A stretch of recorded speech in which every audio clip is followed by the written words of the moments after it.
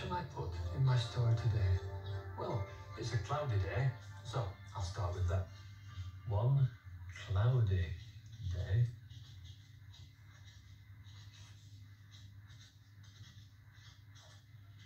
And now I'll draw the river with my two blue pens, like this. And my boat is just here. So I'll put this place. And now I'll be on my way. It's quite cool on the river today, so I've got my woolly on. I'm putting my life jacket on as well. My book says that if I go along here, I'll come to the town of Evesham, and near there is a woolen mill. Well, that sounds like a good place to go on a chilly day. So it's time to start the engine and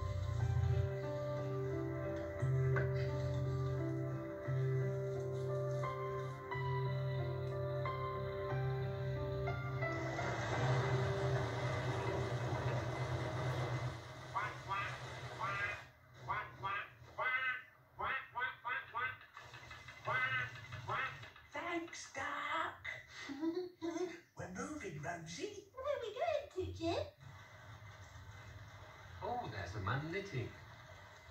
Now that must be handy. You know, I wish I could knit new things to wear because my woolly has got holes in it. It's a bit drafty when the wind blows. Did he say he's feeling chilly, Rosie? I think he's going somewhere to warm up.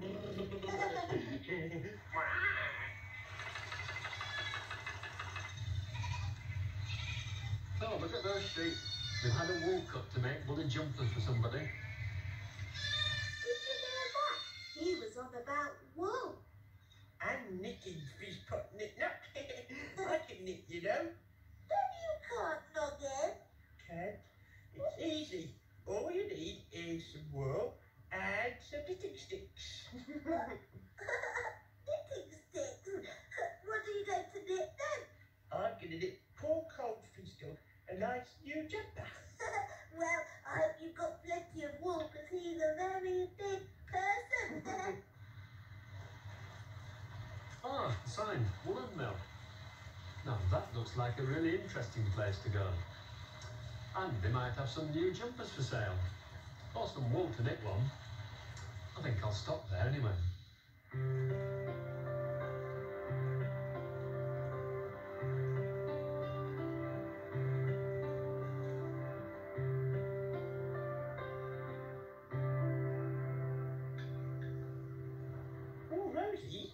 Why is he stopping?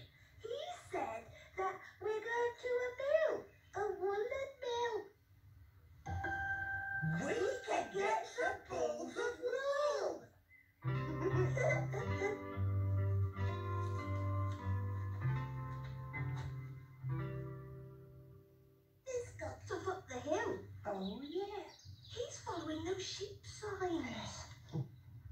It's a long way to this woolen mill. Ah, here's a sign. I must be going the right way.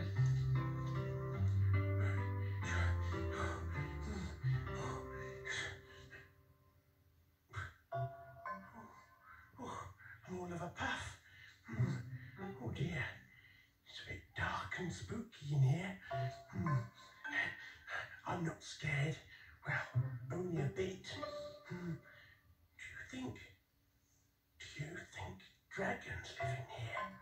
I mean, dragons must live somewhere, mustn't they? Oh dear. Hmm. Now look, Rose is over there, and Fish Dog is just over there. no, I'm not scared. no, no, no. Come on, Jim. now, I wonder what's round here.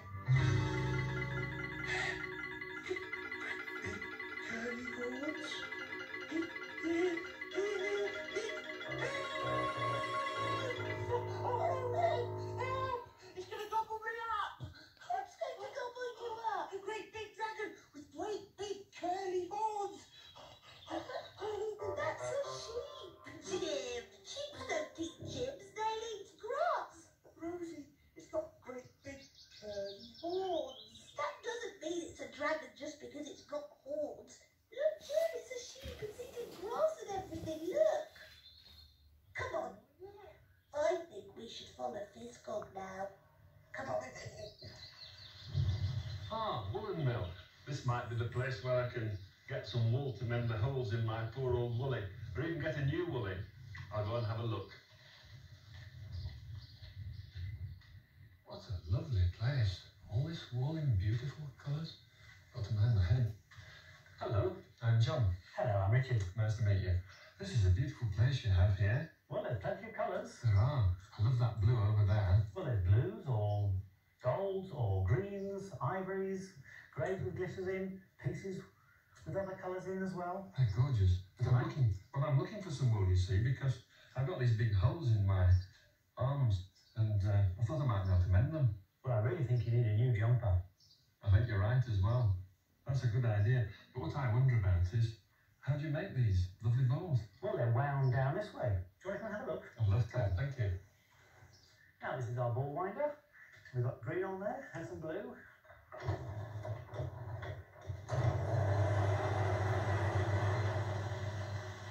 Rosie, what's that machine doing?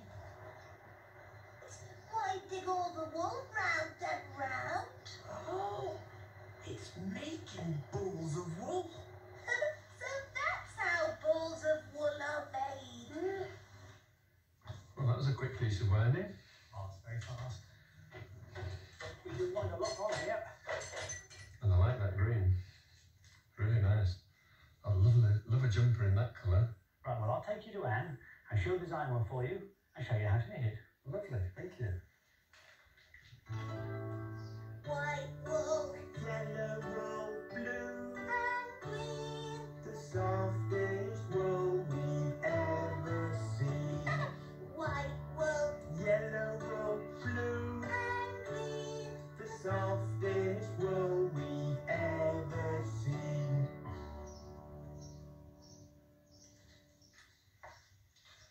Hello, Anne. Hello, John. I see that you're very busy knitting now, I've just chosen some wool because I want to knit myself a new woolly. 'cause This one's all in holes. The trouble is that I've forgotten how to knit such a long time since I did it. I wonder if you can show me. Yes, of course. Mm, thank you very much. Now, things to get it in the right place, isn't it? Right, where do I begin? Put your first needle through the first stitch. Through the stitch, yes, Back the wool over the needle. yes. Pull the needle back and slip the stitch off. Slip the stitch. Oh, oh, That's a it. stitch.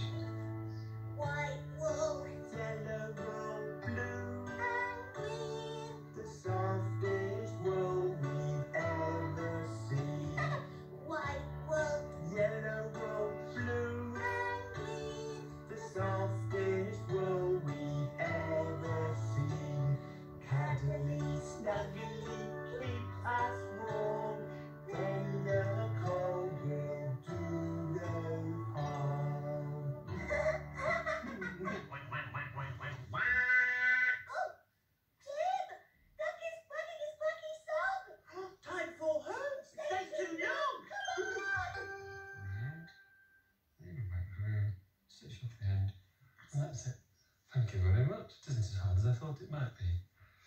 I'll go back to my boat now and practice. Okay? Thank you very much. Bye bye. Bye bye.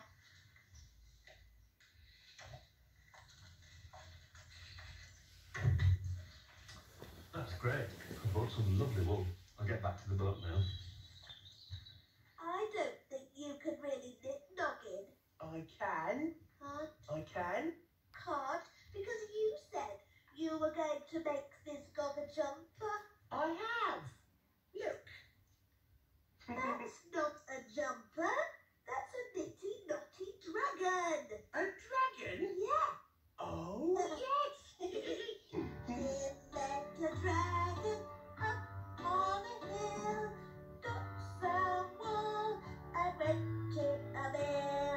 Dragon was the sheep that came round a tree, gave Jim a fright,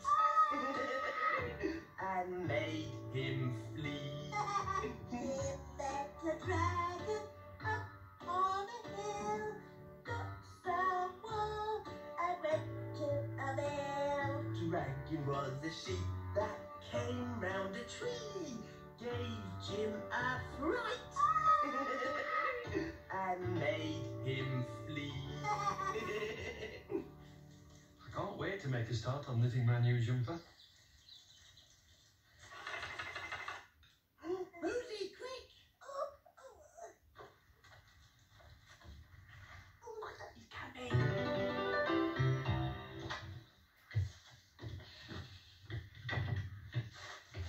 I won't start my knitting yet because I've got lots of ideas for my Rosie and Jim story.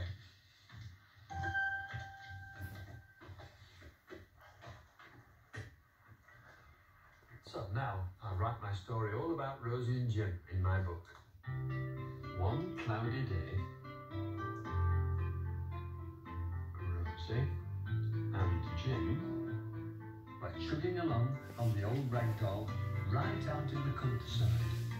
Jim went up a hill to see what he could see.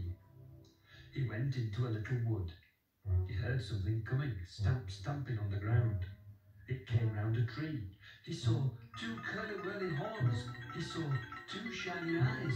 He saw big sharp teeth. Help, shouted! Help, the dragon! And he ran for his life all the way down the hill. Rosie put her arms round him, and he was safe. Where's this dragon? said Rosie. The dragon came out of the wood. It said, bah. It's not a dragon, said Rosie. It's a sheep. A sheep, said Jim. There were more sheep coming out of the wood. Lots of sheep, said Rosie. They won't eat you. They only eat grass. I thought it was a dragon, said Jim. It's covered in fluffy stuff. Wool, said Rosie. That's what it is. When they went home, Rosie and Jim knitted warm woolly scarves for themselves. A blue one for Rosie, a green one for Jim.